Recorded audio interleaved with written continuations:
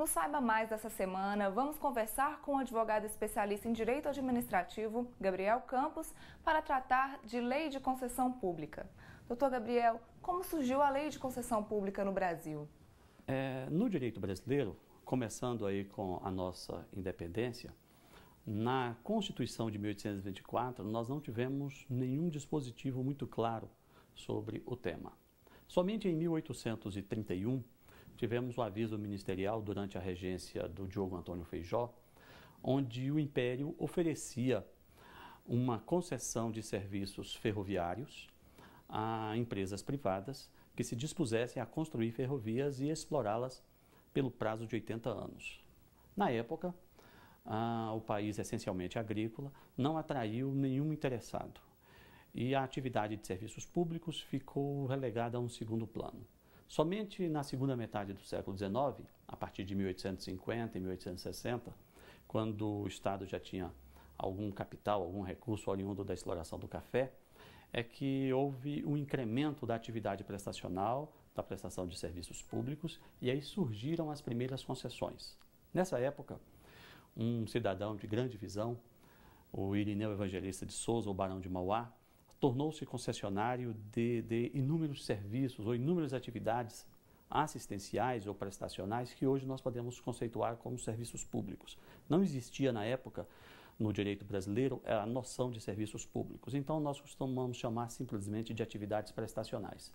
O Barão de Mauá, o Irineu Evangelista de Souza, obteve no Império a concessão de ferrovias, de estradas, de portos, de navegação e de iluminação a gás na cidade do Rio de Janeiro, tudo isso a partir de 1860.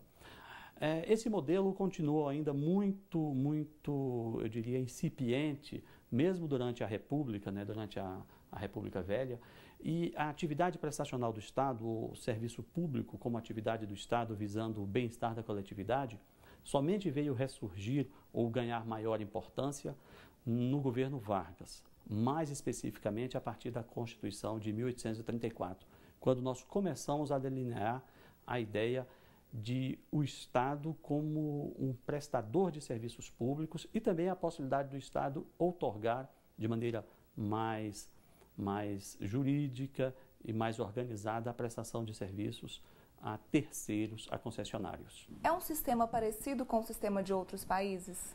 O direito administrativo brasileiro é, ele tem uma matriz francesa. Nós temos uma forte influência do direito administrativo francês em quase todos os nossos institutos, os nossos temas. Especificamente na questão de serviços públicos e, sobretudo, na forma de outorga desse serviço ao setor privado, nas concessões de serviços públicos, a influência francesa é predominante. Qual a diferença entre concessão e permissão? Na atual legislação, especificamente na Lei 8987 de 95, a concessão e a permissão são dois modelos de outorga de serviços públicos ao setor privado. Isto é, são duas formas por meio das quais o Estado pode deixar de prestar um serviço público à coletividade e outorgar entregar essa prestação a uma pessoa privada para que ela, em lugar do Estado, preste o serviço à coletividade. Então, nós temos aí duas espécies do, de um mesmo gênero, que seria a outorga do serviço público. Bom, a concessão é um contrato administrativo por meio do qual o Estado delega a uma empresa privada ou a um conjunto de empresas, um consórcio de empresas, a exploração de um serviço público. Então, essa empresa, por meio do contrato, passa a ter o dever, a obrigação de envidar esforços, de fazer investimentos e prestar o serviço à coletividade. E como, como contraprestação desse serviço, ela passa a ter o direito a uma remuneração. Normalmente, essa remuneração se dá pela cobrança de uma tarifa. Na permissão, a situação é semelhante. O Estado delega a um permissionário a prestação de um serviço público e ele, por meios próprios e em lugar do Estado, presta o serviço à coletividade por meio da cobrança de uma tarifa. A diferença básica é que na concessão o Estado pode outorgar o serviço somente a pessoas jurídicas ou a consórcio de empresas. Já na permissão, o Estado pode fazer a outorga tanto em favor de uma pessoa jurídica, em favor de uma empresa, como também em favor de uma pessoa física. Daí nós temos a primeira diferença. A concessão é utilizada como forma de delegação daqueles serviços de maior é, importância, de maior é, necessidade de gastos e investimentos. Por exemplo, energia elétrica, estradas, portos, aeroportos. Enquanto a permissão é aquela forma para outorga ou delegação de serviços mais simples, como, por exemplo, transporte urbano municipal e outros serviços é, dessa natureza. Essa é a primeira diferença, não é? A segunda ou outra diferença é que a concessão é um contrato administrativo por meio do qual o Estado e o particular, o concessionário, têm uma relação mais estável. É um contrato que dá maior efetividade e segurança ao concessionário nessa relação com o Estado. Enquanto a permissão, por força do artigo 40 da Lei 8987 de 95, é um contrato precário que pode ser rompido pelo Estado, pode ser revogado pelo Estado a qualquer tempo. Quais as principais normas da lei de concessão? As principais normas da, da lei de concessão e permissão, que eu considero, é, inicialmente foi a definição dessas duas matrizes, essas duas formas de delegação de serviços públicos: a definição da concessão e a definição da permissão de serviços públicos. A partir daí, nós podemos apontar a obrigatoriedade de licitação para essas duas delegações, a definição do procedimento de licitatório, não é, que está no artigo 15 dessa Lei 8987 de 95, a, o regramento da forma como vai ser cobrada a tarifa, isto é, toda a política tarifária que constitui a forma de remuneração do concessionário e do permissionário, que está ali pelo artigo 9 da lei, as cláusulas do contrato, as cláusulas do edital de licitação, a definição dos dos direitos e obrigações do usuário, direitos e obrigações do Estado, direitos e obrigações do permissionário. Isto é, essas são as, as normas principais não é, que estão no texto da Lei 8.987 de 95. Quais os direitos e deveres da concessionária e do poder público?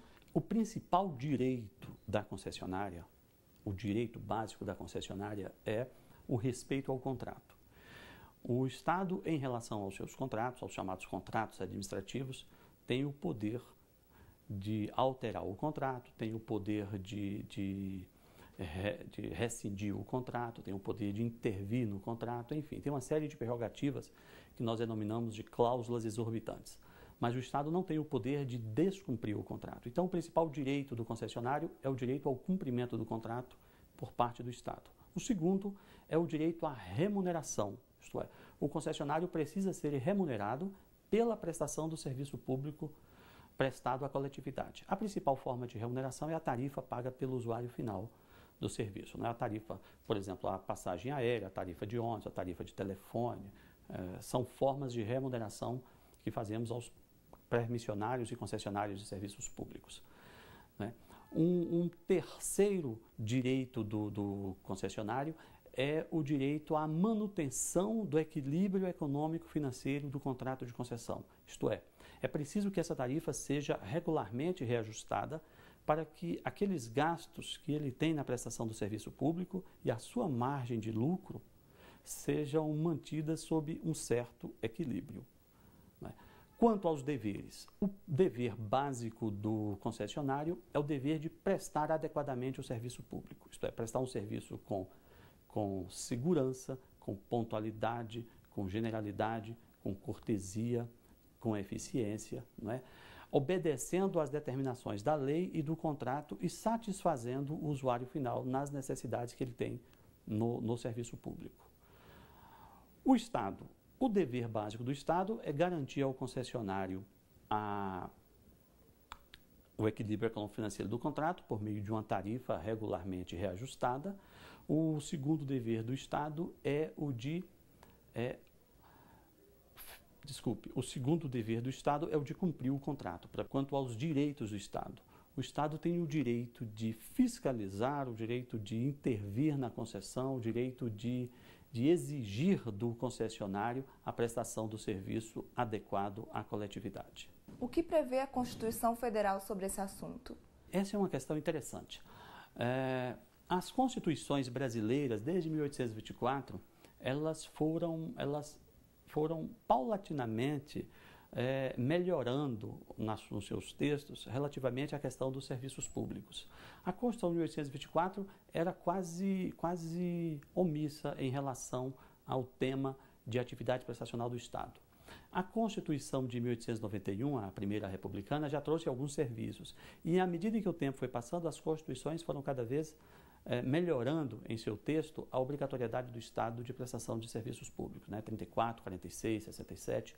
Atualmente, a Constituição de 1988, ela prevê, inicialmente no artigo 175, o, o, núcleo básico da ideia de serviço público. Ela diz textualmente que incumbe ao Estado incumbe ao poder público, aí entendendo-se União, Estado, DF e municípios, a prestação de serviços públicos podendo esses serviços públicos serem prestados pelo Estado diretamente ou podendo ser prestados por concessionários ou permissionários de serviços públicos, sempre através de licitação. Então, a Constituição, nesse núcleo básico, que é o artigo 175, ela estabelece: 1. Um, a obrigatoriedade do Estado de prestação de serviços públicos. 2. A possibilidade de o Estado prestar diretamente. 3. A possibilidade de o Estado delegar esses serviços por meio de contratos de concessão e permissão. E quatro, a obrigatoriedade de se fazer uma licitação pública para selecionar os concessionários e permissionários de serviços públicos. Além desse núcleo básico, que é o, o artigo 175, a Constituição trata também da competência para a prestação de serviços públicos, dividindo essa competência entre a União, isto é, existem serviços públicos, atividades prestacionais que visam o bem-estar da coletividade, sob a responsabilidade da União, existem competências de serviços públicos a cargo do Estado e existem competências de serviços públicos a cargo dos municípios. Então, a Constituição trata, no artigo 175, ah, sobre o regramento básico, né, determinando a obrigatoriedade da prestação de serviços públicos, os modelos de concessão e permissão por licitação. E em outros artigos, como o artigo 21, 25 e 30, respectivamente, ela trata das competências da União, dos estados e dos municípios. Como se dá o processo de licitação? O processo de licitação é, é um tema bastante relevante. Primeiro, é preciso lembrar que a Constituição, no artigo 175, quando ela admite a delegação de serviços públicos ao setor privado, por concessão ou permissão, ela exige a realização de uma licitação, isto é, um procedimento por meio do qual o Estado vai escolher, escolher a melhor proposta e a melhor empresa, a melhor pessoa que vai receber a delegação para prestar o serviço público. A licitação é feita inicialmente a partir de um edital que estabelece as condições que a empresa deve, deve atender para se tornar concessionária e estabelece um critério de julgamento. Não é? Um critério de julgamento, que pode ser o menor valor da tarifa, o maior valor de pagamento pela concessão. Então, as empresas interessadas as pessoas interessadas comparecem no dia marcado para a licitação, apresentam os seus, os seus documentos, é? apresentam as suas propostas e em uma sessão pública ou em sessões públicas à vista de todos, é? a administração vai examinar as condições das empresas para se tornarem concessionárias ou permissionárias de serviços públicos e selecionar dentre aquelas que forem consideradas aptas a melhor proposta para celebração e formação do contrato de concessão ou permissão. A partir daí, o vencedor da licitação é contratado e se torna então concessionário ou permissionário, conforme o caso, devendo por obrigação prestar o serviço público e tendo como direito a remuneração que eu disse, normalmente na forma da cobrança de uma tarifa. Quais são as cláusulas essenciais do contrato de concessão? As cláusulas essenciais do contrato de concessão de serviços públicos são do, a obrigação do concessionário de prestar o serviço adequado, a obrigação do concessionário de se submeter à fiscalização do Estado na prestação de serviços públicos, a obrigação do Estado de fiscalizar a execução do serviço público, os direitos e garantias do Estado em relação ao contrato de concessão, os direitos do concessionário à tarifa e à tarifa como eu disse, equilibrada, com reajustes periódicos, e os casos de rescisão do contrato de concessão. Em quais situações o poder concedente pode intervir na concessão? O Estado, chamado pela lei de poder concedente, porque ele é o titular, o dono do serviço público, e ele outorga, delega ao concessionário, o Estado tem uma prerrogativa interessantíssima e pouco utilizada no Brasil, que é o poder de intervir na concessão. Os artigos 32 a 34 da Lei 8987-95 permitem que o Estado, diante da má prestação do serviço público, decrete a intervenção na concessão. Quando a empresa estiver prestando um serviço público ruim, um serviço público fora dos padrões de qualidade estabelecidos na lei e no contrato, o Estado pode afastar os dirigentes da concessionária, assumir por seus próprios agentes e servidores a direção da concessionária para a prestação de serviços públicos. E nesse afastamento, durante essa intervenção, o Estado pode tentar sanear os problemas, não é? encontrar as falhas da prestação de serviço público e, se resolvidos os problemas, encontradas as falhas, saneadas essas falhas, ele devolve a concessão àquela concessionária, àquela empresa. Se não for possível é, ou se chegar à conclusão de que aquela empresa não tem mais condições de prestar o serviço público durante esse período de intervenção, o Estado verificar a sua completa incapacidade, ele extingue a concessão. Esse procedimento se chama de declaração de caducidade da concessão. E aí é, o contrato é desfeito e aquela empresa perde a condição de concessionária. É uma cláusula muito relevante porque, diante de qualquer situação em que a empresa estiver prestando um péssimo serviço público, o Estado pode intervir pode tentar sanear o problema ou pode intervir para afastar a concessionária e rescindir o contrato.